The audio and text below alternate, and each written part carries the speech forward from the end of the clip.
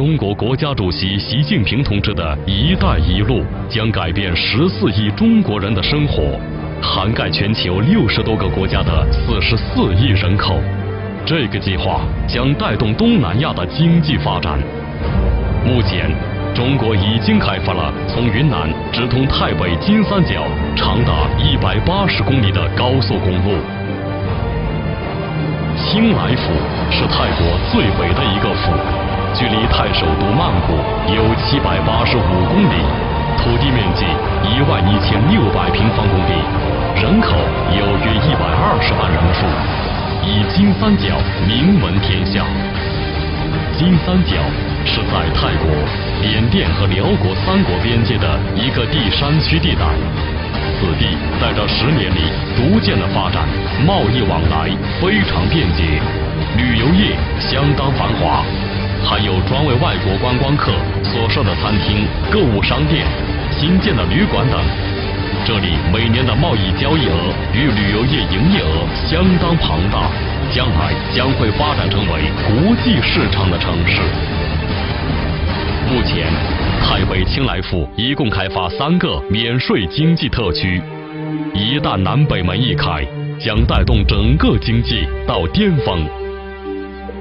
位于清莱府最北部的一个县清盛，根据泰国的历史记载，于一千四百年前，这里曾是一个相当大的王国，继称为雍纳加王国。雍纳加王国经历了四十六任国王的统治。是当时最强大的国家。在第四十六任国王在位的时候，国王认识了佛教，带领一批精锐离开了国家，去寻找宗教的真意。就在国王离开的这个时候，国家发生了战争，失去国王领导的雍纳加王国被击败了。当时这里突然发生一个极大的天灾，所有居住于领土上的人民。无一侥幸，一夜间，这个曾经辉煌了多时的王国全被沉埋下湖底。今天，亚太东盟集团将在此地把当年辉煌的雍纳加王国重新打造回来。亚太东盟集团是一家已经在泰国合法注册、成立于曼谷的公司，旗下业务包括酒店、房地产。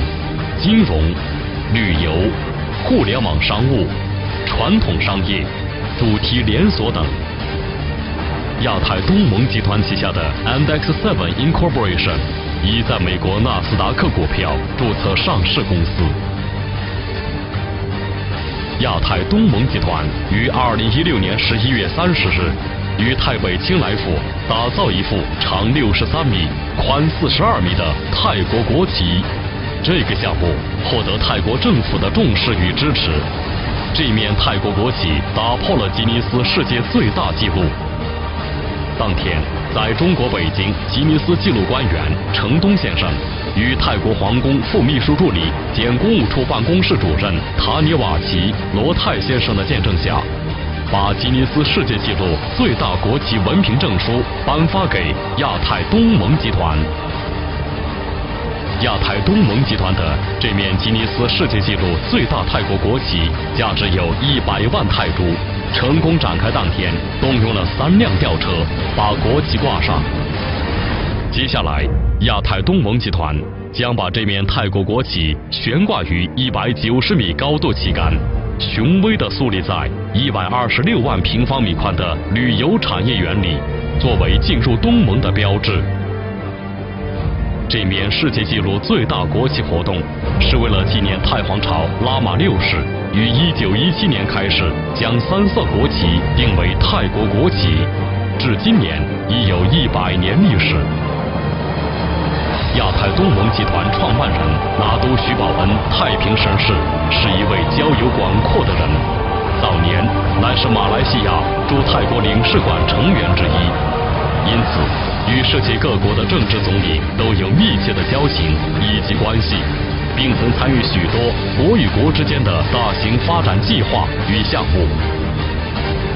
就因拿督徐宝恩太平绅士的关系，亚太东盟集团很荣幸地被泰国政府邀请成为策略伙伴，共同开发泰国清莱府的大型免税经济特区。亚太东盟集团将在清莱府清盛县一带以百分百独资完成的项目形式来发展，而发展将分成四个阶段。第一阶段，二零一七年。把吉尼斯世界纪录最高和最大的泰国国旗悬挂在清盛县的旅游产业园里。第二阶段，清盛县旅游产业园的周边商店将在2018年开始动工。第三阶段，清盛县旅游产业园的国旗博物馆和展览厅将在2020年后动工。最后的第四个阶段。将是清盛县旅游产业园靠近湖边的旅游度假村，估计整个旅游产业园发展项目将在六年里完成。随着经济特区的开发，许多项目将再次启动，周边交通网络也将同步建设，加上大规模临空产业的布局，必然同步增加对居住以及相关配套的需要。利好亚太东盟集团房地产市场发展，早期有所布局的房企最为受益，地价将长期看涨。按照市场调查，目前青莱一年的游客流量为一千万人次，平均每个游客到我们的旅游产业园消费一百美金，这将会为我们公司带来每年十亿美金的营业额。也许此刻的您会问。这地方真的会发展吗？就如一九八零年，中国政府宣布，中国的第一个经济特区在深圳成立，每个人都在怀疑此项目的发展。如今，深圳的成功，我们大家有目共睹。三十五年前的机会，您错过了，今天这个机会能否把握，就看您了。